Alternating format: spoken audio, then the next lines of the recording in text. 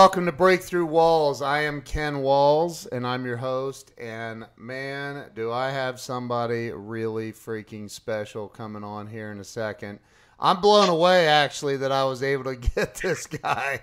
But um, I, hey, this guy's known as the pit bull of personal development, the world's only irritational speaker the author of many, many books, New York Times and Wall Street Journal best-selling author. This dude is a rock star. I want to welcome my new friend, Mr. Larry Winget, to the show. Larry, welcome to the show. Hey, I appreciate you having me. I can't wait to hear what I got to say. yeah, I am so excited to have you on. I've, you know, I've I've followed you for years. I've read your books. I haven't read all of them. I'm not going to lie, but I've read a couple of them. And man, you you you uh, you lay it out. Somewhere I heard, I heard you said made a statement somewhere. I don't know if it's in a book or something, but something like your kids are stupid because you're stupid, or your kids are dumb because you're dumb, or something like that. Well, I did write a New York Times bestseller called "Your Kids Are Your Own Fault." and uh, you know, I do have a, a series of uh, statements that I go through in my speeches that said if your uh, business sucks, it's because as a business person you suck, and if your life sucks, it's because you suck, and if your sales suck, it's because as a salesperson you suck, and if your kids suck, it's because as a parent you suck. So wow. I run through all of those things. It's all about it's you know, kind of life's your own damn fault. Take responsibility. Man, isn't that the truth? Wow. So, so let's let's kind of start out with. I, I mean, I know a little of your backstory, but I, I'm interested in hearing a little more about it. Like, where were you? Where were you born and raised? I grew up dirt poor, in Muskogee, Oklahoma. I truly am an Okie from Muskogee, and uh, really, and uh, I lived there a long time until uh, I got out of college. I went to college Northeastern Oklahoma State University. My dad worked for Sears Roebuck for 47 years, and we raised chickens on the side. So there you go. Wow. I was 13 years old. My story was when I was 13 years old, I walked into my eighth grade civics class, and a kid turned and looked at me and said, Hey, Winget, you support you only got one pair of blue jeans? And uh, yeah, I did. I only had one pair of blue jeans. They had a rip in the pocket. You, all your jeans can't have a rip in the same spot, you know. and it was so humiliating to me because the last thing a 13 year old boy wants to be embarrassed by uh, it is about how he, how much money he's got, how he looks, and all that in front of a bunch of little 13 year old girls. Yeah. And it was humiliating. And right there, that quick, I made up my mind nobody was ever going to make fun of me for being poor. Wow. Never again in my life. And I walked out, and I still remember the kid's name. And uh, I bumped into him about three years ago here in Phoenix, Arizona. The kid who said that to me. No and kidding. In my mind, I was going to do whatever it took, but nobody would make fun of me for being poor again. Now, is he live? Is he living in a trailer? yeah, as a matter of fact, he is. he really is. Wanted to borrow money from me. Oh my god! Wow. You should have bought him one of them pairs of jeans that have, have they come pre-ripped and sent them to him. Yeah. Wow, man, that is crazy. It's funny how it all comes around, isn't it? Yeah, and uh, you know your show's about breakthroughs. That was my breakthrough. It was that moment of humiliation. Yeah. See, I don't think these days we're allowing people to feel moments of humiliation. We save everybody from everything. Amen. And uh, it was that moment of humiliation and embarrassment. Today, that would be called out by the teachers as bullying. it was the best thing that ever happened to me. Right. Because it was my motivation, my drive, my impetus to change my entire life and break away from the history of my entire family.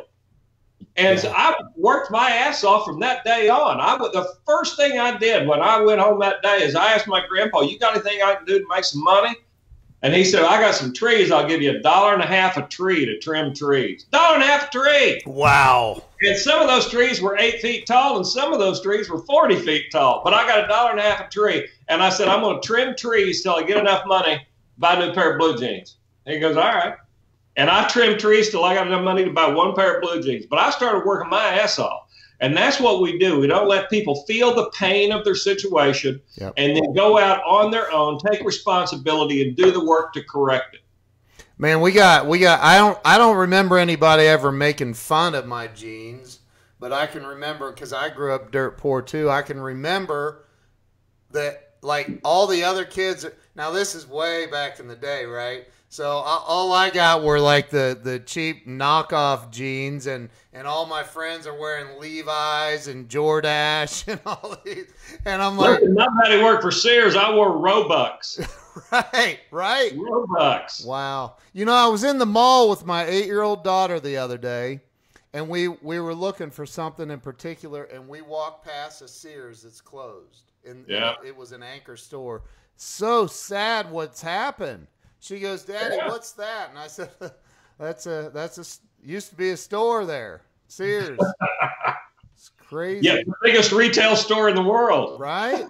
What Yeah. happened? What do you think happened to them? I mean, Oh, it's a long list of stuff that happened to them, but I think they kind of forgot who they were when they went brand central and all those sorts of things. If they would have stuck with Kenmore and Craftsman, they could have uh, written those two brands right there into eternity. Yep. But they started trying to be all things to all people. Look at my industry. People trying to be all things to all people. Yeah. You know, if there's anything that you, that I've learned about who I am and what I do in this business is I cannot be all things to all people. I am an acquired taste. I get a very small percentage of the market, and I'm happy with that.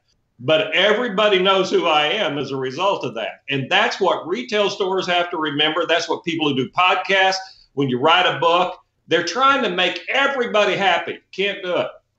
Wow. Right there. That that right there was was worth the worth getting you up early to get on the show. Might have been for you. So so so you grew up and and and you had that that moment at 13 years old Yeah. and and decided I am never going to be poor. I'm never going to be made fun of again. Yep. And you just worked your ass off. So That's it. it, it- but like so you went through high school i mean i'm assuming you got that that new pair of jeans i'm, I did. I'm assuming you you worked your way through high school and into college and through college did your parents pay for your college Let me tell you, I went to school a semester, then I took off a semester and worked to have enough money for the next semester. yeah And it took me a long time to get through college because that's the way it was. I'd work a semester and save up enough money to go for another one. Right right people don't understand that do they they just don't get that No, they don't get that. You know, somebody's going to pay for everything, and by God, they ought to. Everybody owes me a college education. Bull. I appreciate my college education. Not that I did anything with any of it, but what I learned from it is that hard work and perseverance is the lesson that carries you through life, not the classes that you study.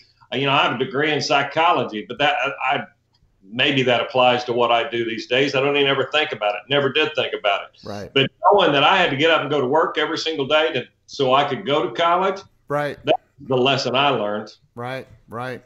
So along the way, though, you know, I, because people can look at and and you and I, you know, we see this where people look from the outside.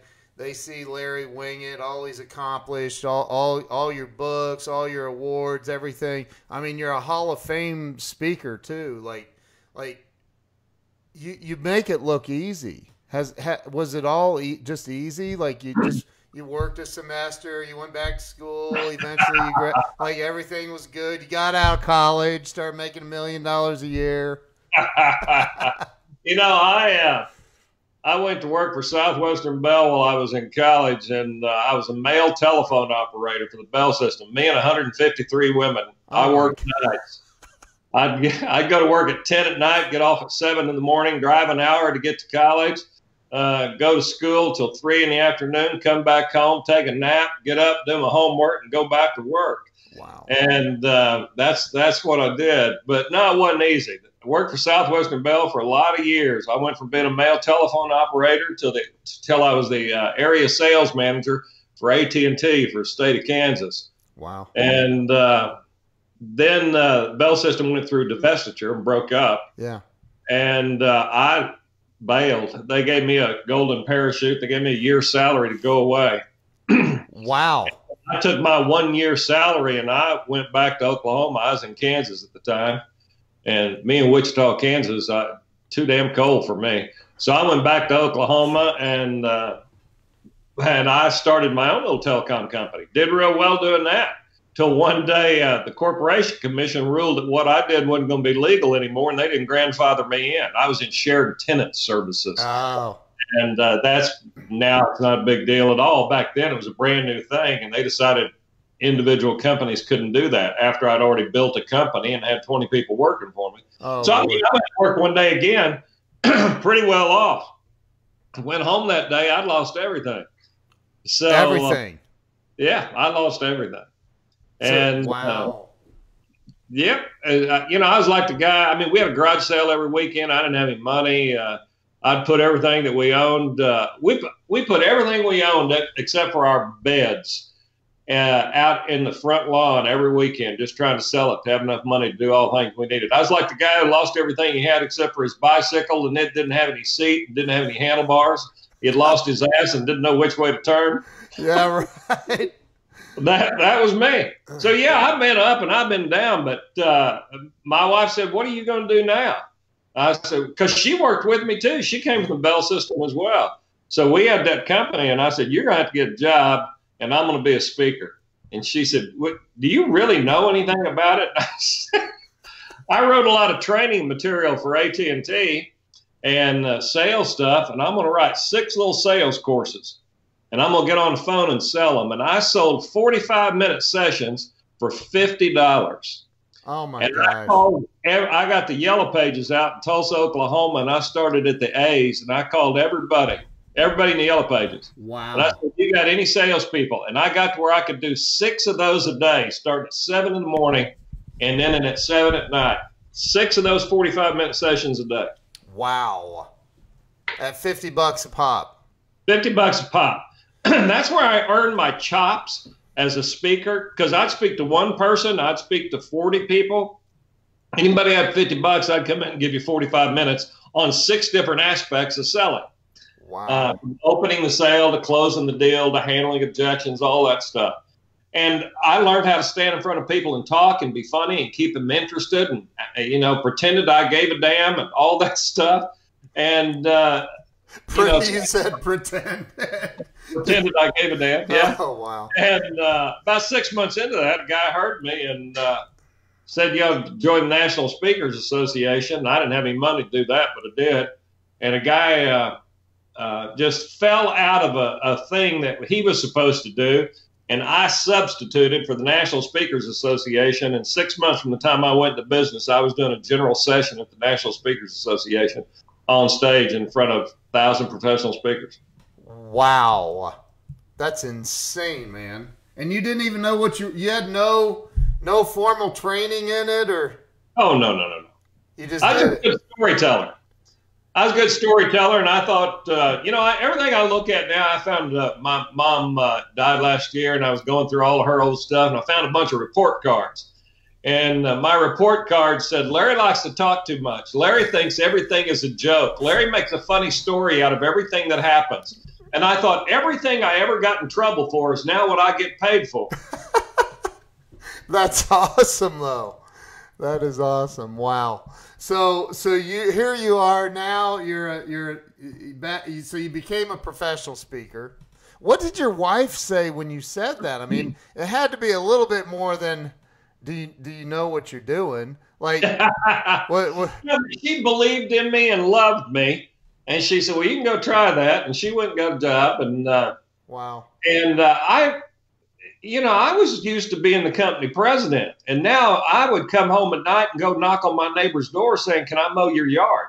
Wow. And uh, I was doing anything in the world. And so she did know that I would do anything in the world. My ego was never in the way when it come when it came down to taking care of my family. Yep. I did whatever it took. I, you know, I wasn't too good to do anything, but I was willing to get out and knock on doors and call people. And uh, I don't believe in rejection. You know, it doesn't bother me at all. I can ask a million people if that's what it takes. So yeah, I started speaking and I did pretty good. And I went from charging uh, fifty dollars a speech till I charge considerably more than that at this point. Yeah. And uh, you know. I was sort of a typical motivational kind of a speaker at that point. Yeah. And uh, I got to about 10 years into it, I got really kind of fed up. I didn't like who it was, didn't like what I had to say, didn't like the folks I was saying it to.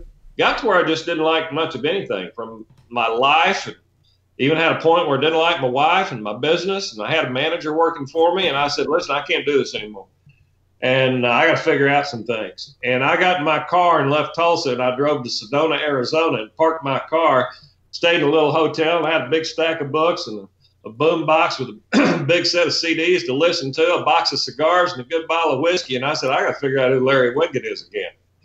And um, in the middle of that, in Sedona, Arizona. Yeah. Isn't that like the meditation capital or something? Yeah, and I didn't kind of know that. I just oh, yeah. started. And I just sat there and I'd smoke a cigar and I'd have a drink and I'd read a little bit and listen to some music. And I turned on the TV and I heard Dennis Miller in an interview. And Miller uh, at that point had left Saturday Night Live and he was off doing his own thing. And he said, Here's what comedians do. He said, They go on stage to endear themselves to the audience so the audience will like them, knowing that if the audience likes them, they will laugh. He said, My problem was I was never very endearing. So I gave it up. And instantly, when he said, I was never very endearing, so I gave it up, I said, I'm not very endearing either. I think I'll give it up. And I called Rosemary and said, I don't know what the business is going to look like, but it'll be different. Wow. Let's figure something out. And I said, Ann, I'm leaving Oklahoma and moving to Arizona. Wow. she said, uh, okay. And so I called my manager and I said, I don't know what the business is going to look like, but I can't do it the way I've been doing it. Now, I was already hired to do a speech two weeks after that. I went on stage and a guy heckled me. And when he heckled me, somehow something in my brain exploded. And I turned on him and said, You know, buddy, you ought to shut up, stop whining, and get a life. and uh, the audience gave me a standing ovation at that moment. Wow. And I, and when I said, Shut up, stop whining, get a life, and in my head, I went, eh, You know, that's a pretty good line. I ought to hang on to that line. and then I started making a joke. I was going to go away, so I started telling that story in the speech. And uh, I said, one of these days, I'm going to write a book called "Shut Up, Stop Whining, and Get a Life." And uh, you know, then one of these days I did, and I wrote "Shut Up, Stop Whining, Get a Life," and it immediately went to number one on the bestseller list. Wow, dude, that is insane. And while the book was out there number one on the bestseller list, A and E had just produced a new television show, and they were looking for a host. And one of the producers was walking through the airport, saw my book, and said, "It's a good title. From the picture, he's got an attitude. Let's see if he can talk." And they called me, sent a guy with a camera to my house. I did an interview, and they hired me on the spot to become the host of A and E's Big Spender. Oh my God! Wow. That's that's incredible. All because somebody made fun of your single pair of ripped jeans. It's exactly right. It's true, right? Yeah, it's exactly that's, right. That's the fuel. I love and it. And see, today, if somebody makes fun of them, we've taught our kids to fold. Yeah. We, we will sue them or we'll go to the teacher or we'll do whatever. Or we're, you know, you have kids right now committing suicide over less than that. That's insane. Because man. mom and daddy didn't teach them how to be tough and suck it up in many cases. Wow.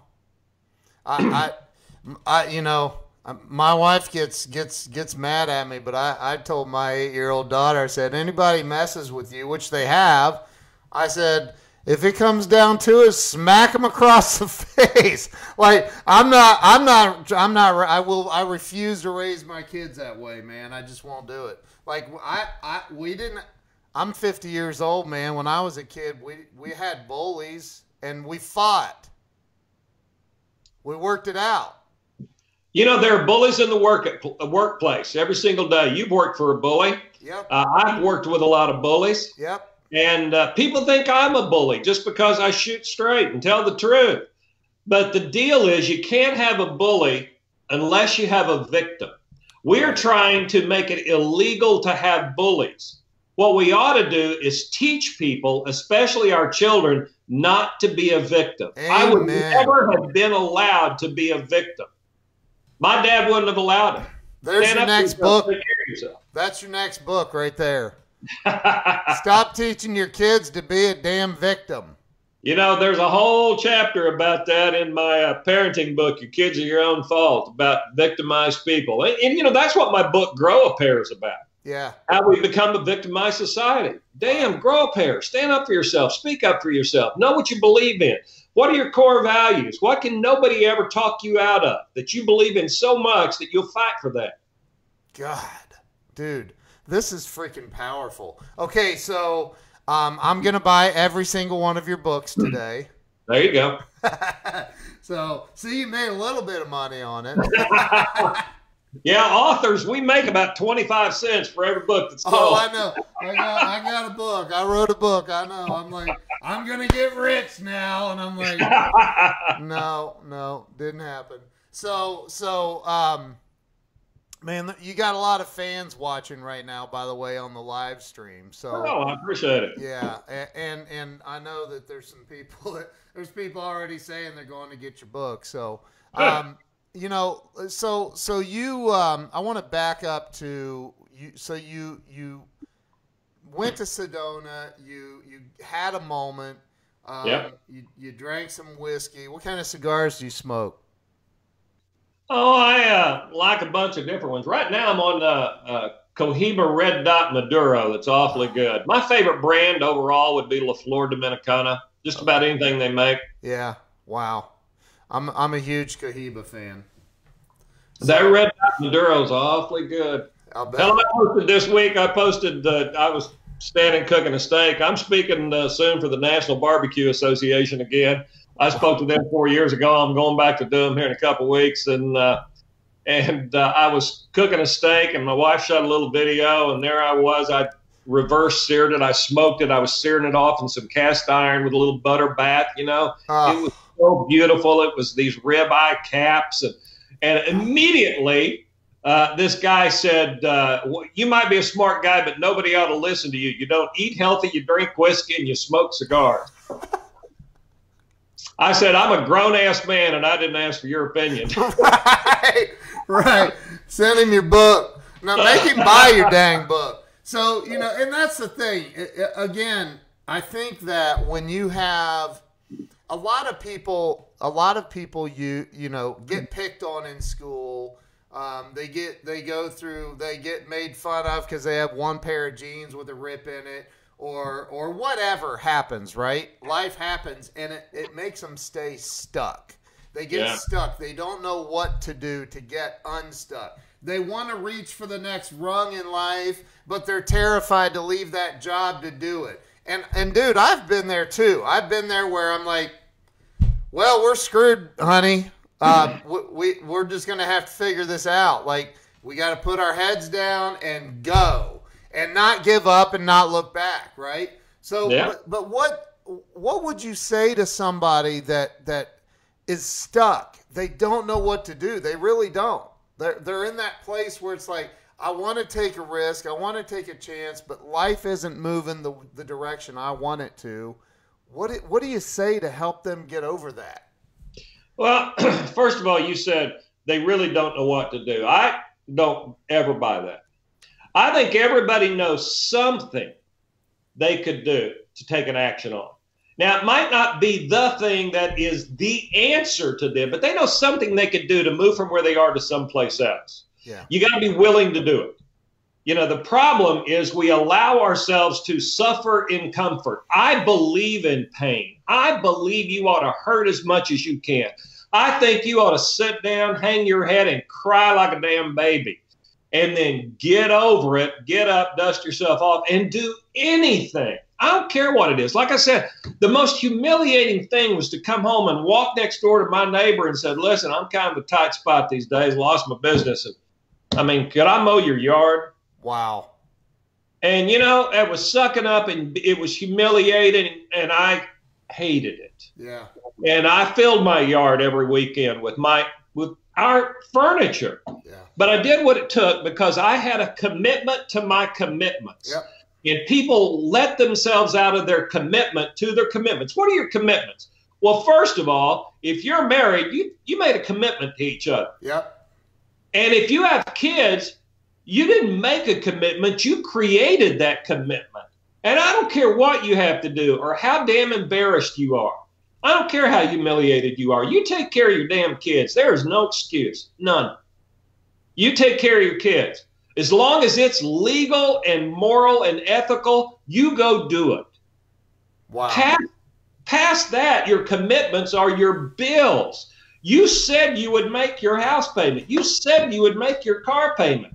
We have commercials on television and on the radio said, uh, that say you don't have to make your credit card payments. The credit card companies don't want you to know this.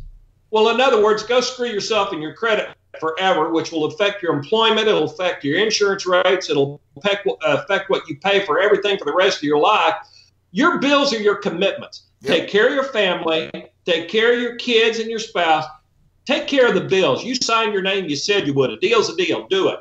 Now, do you have the perfect answer? Probably not, but there's something you could do.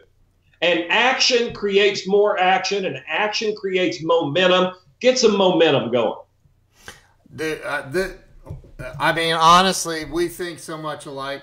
I, I, have gone out and you know I, I, I went through a divorce years ago, and and a buddy of mine said you can crash on my couch for a little bit while you get it all together. Well, I was moping around for about sixty days, and he finally came to me. He's a retired doctor. Came to me and said, "I know you don't have any money, so here's twenty bucks." you need to get your ass out of my house, get your own place, grow up, grow a pair. he didn't say grow a pair, but he said grow up, take responsibility for your life, quit moping around, and do something. And I, I had, I was, I really felt like I wasn't employable. So I went out and, and started knocking on doors selling website development services because that's what I do. I just started knocking on doors that day until I finally, at, at the end of the day, I ran into somebody. If you've never been out knocking on doors, I think honestly, Larry, I think everybody should make their kids go get a job at 18 years old knocking on doors for the first two years of life as an adult. I agree with you. I think that, that we'd have a whole lot less problems in this world because that's work. Yeah, it is work. But see, right now, there's somebody out there creating a government program for people who have gotten a divorce and are sleeping on their buddy's couch. right. You're right. And you know, and when and the solution is universal basic income, which is the new next idea that we're just going to pay you for oh, let me see, breathing. Right. Life is about contribution. And the reason people get stuck and the reason they mope is they don't feel they are making a contribution. I don't care if you can't find a job. Go to the park and pick up trash and walk over there and put it in the can. Make a contribution to society. I honestly believe that if you did that long enough, somebody would pay attention and you would win on that deal.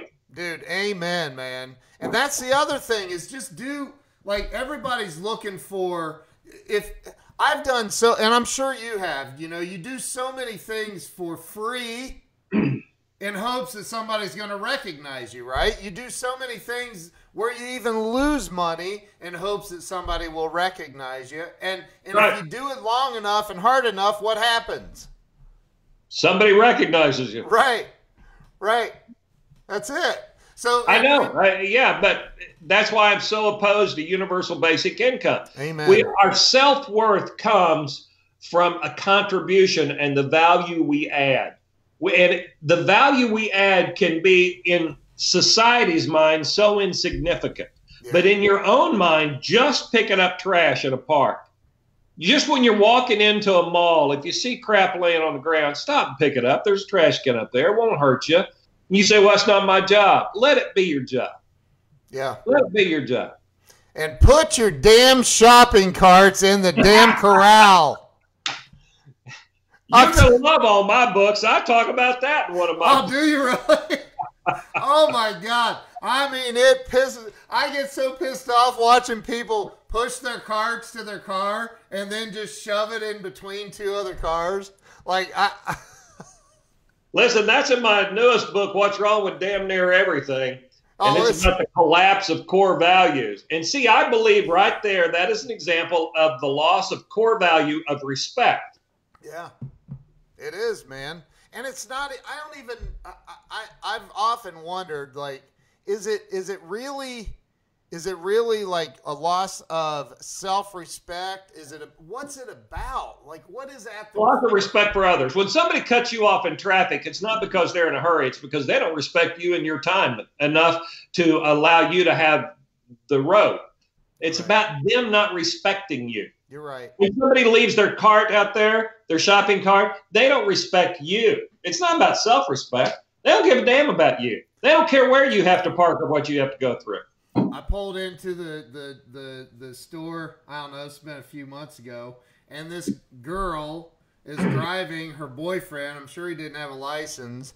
And and she she pushes I'm getting ready to turn into my parking spot right next to their car. She pushes her cart into the middle of the parking spot that I'm turning into and turns around and walks over and I'm like I swear had I been carrying a gun, I was like, I, that did not just happen. But people don't care anymore.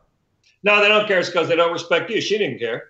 And see, I am the guy that stops my car, gets out, and say, "Excuse me, did you want me to move this for you?" Because you, you obviously don't want to. Did you not realize that other people want to park here? Yeah, I, I actually have those conversations. Oh, I know, man. It drives me. It drives me crazy. I got out and said a few few words. She ignored me, and got in her car, and left. But you know, so so Larry, what do you think?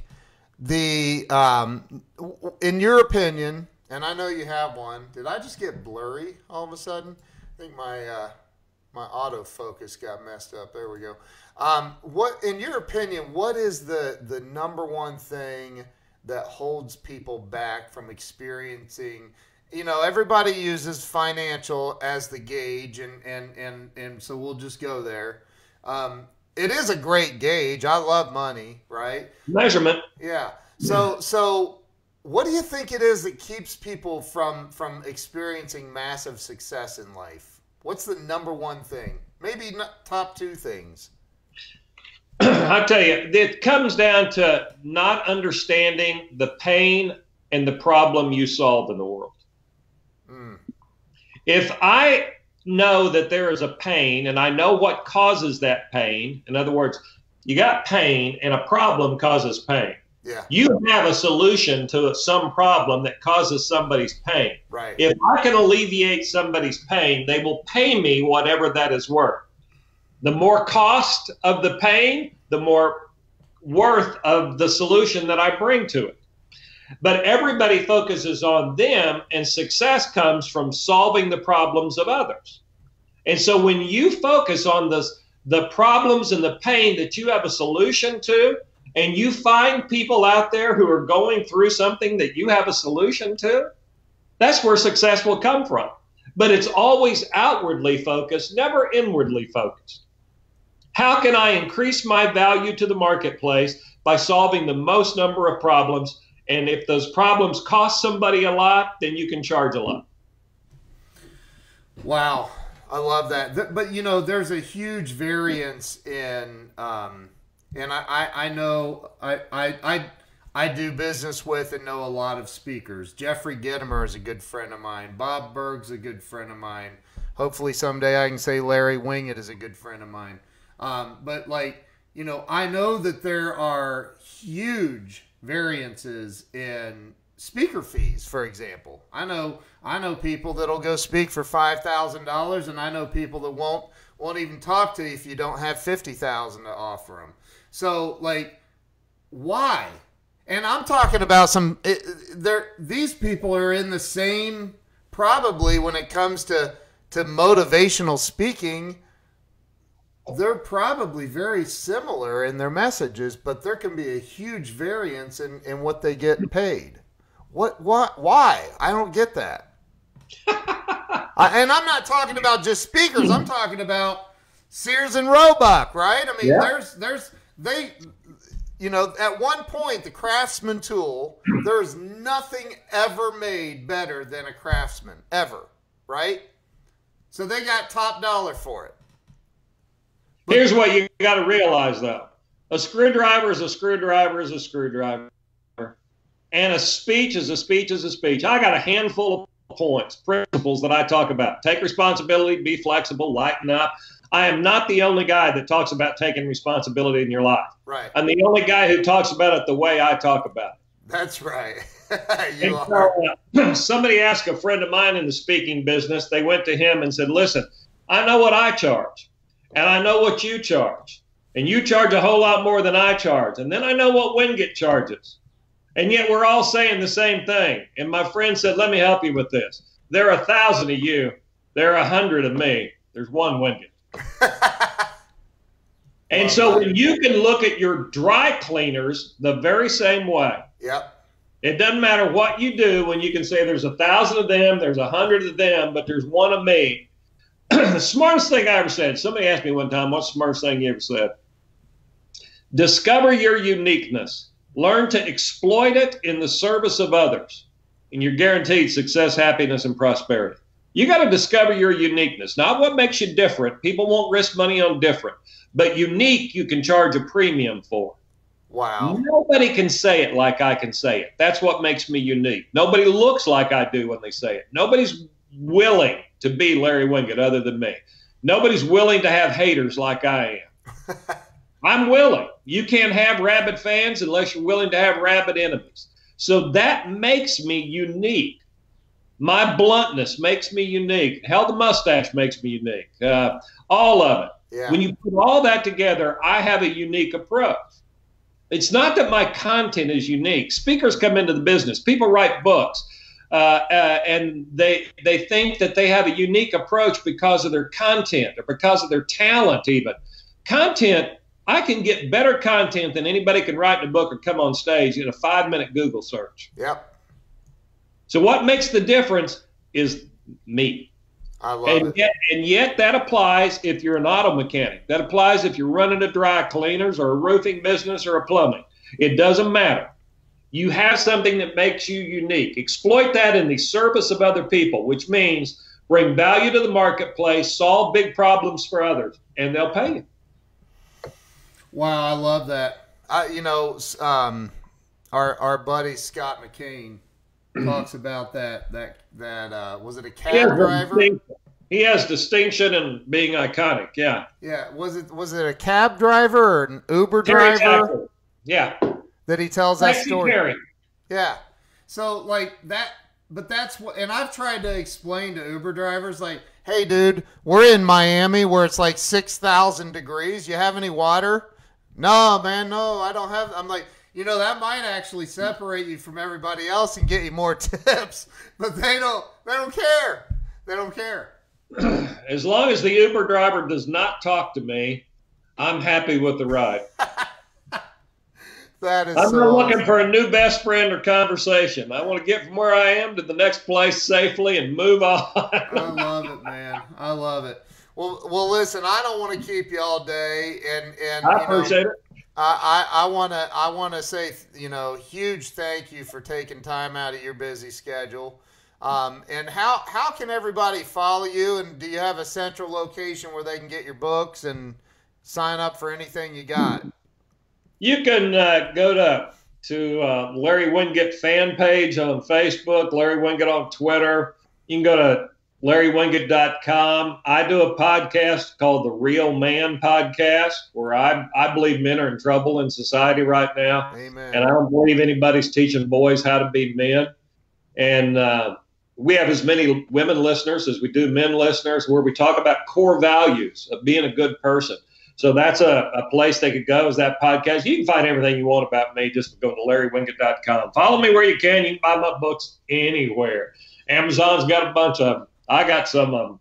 Man, I love it. Is there? Do you have any last words you would say to everybody on here? To if somebody's struggling at this moment, they need to get unstuck. They don't. They don't really understand. I mean, I know you say they know what to do, but if, what if they're telling themselves they don't? That person is just stuck. What do you say? Stop telling yourself you don't know what you can do. I'll tell you right now, you probably really don't know the ultimate thing you should do, but there's something that you could get off your ass and get up and do that would move you from where you are to a better place. If you honestly can't think of anything in this world you could do, walk your ass down the street and pick up trash today. I'm seriously just just take a bag and pick up some trash. You're making a contribution to society. You'll feel better about yourself, and tomorrow you'll be able to take a bigger action. But do something. Wow, that's powerful, and I agree with you, man. Take action like that, and the idea will come to you. I love yep. it. I love it. Hey, thanks for having me. I appreciate it. It's been fun. Hey, thank you for coming on. I appreciate you being here. And thank you to everybody that's been on and shared this out. Larry, thanks. Have a great day. You betcha. Thank All you. Right. Thank you. Bye bye.